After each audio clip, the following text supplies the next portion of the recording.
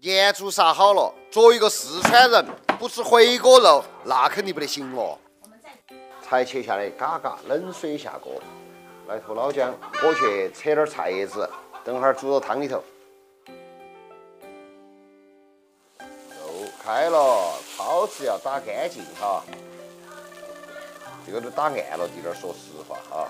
看来切腰子，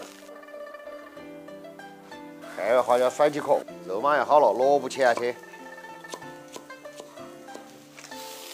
这个冬天家哈有啥子煮啥子，只要萝卜、儿菜、青菜都可以。萝卜继续下，萝卜哈新鲜萝卜哈就趴了。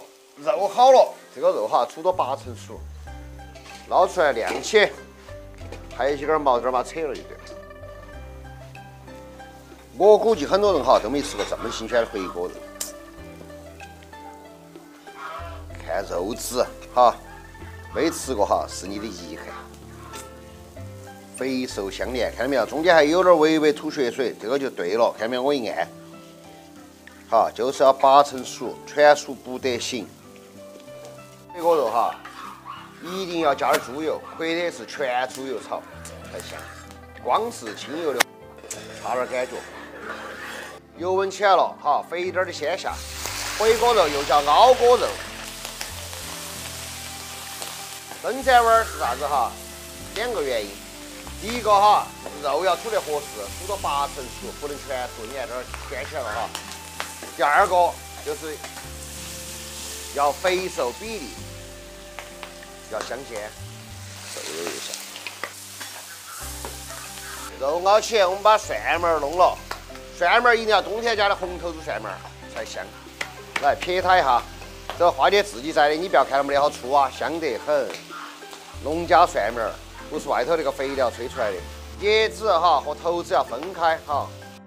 来熬到这个样子就差不多了哈，不要熬得太干了。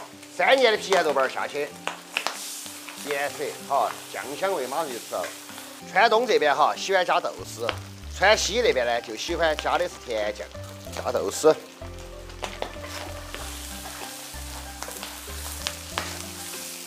点香了以后哈，蒜苗头子下锅，铲它两下，来叶子又下，而且这边哈，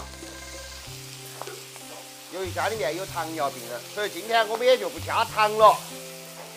其实啊，要微微打点儿糖更好吃，但是一个好的厨师啊，一定要根据好。客人或者朋友的实际情况来调整。对了，起锅来喽，是不是很简单？你觉得？嗯，但实际上哈，这个不简单。首先你要有那么新鲜的猪肉。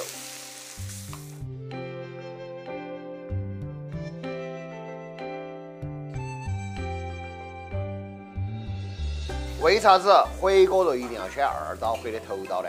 因为它肥瘦相间，而且一说二刀的肥肉这个位置，哈，只要是粮食做的哈，它吃多是脆嫩的，五花肉的吃着始终有点面，这个就是为啥子它是首选的原因。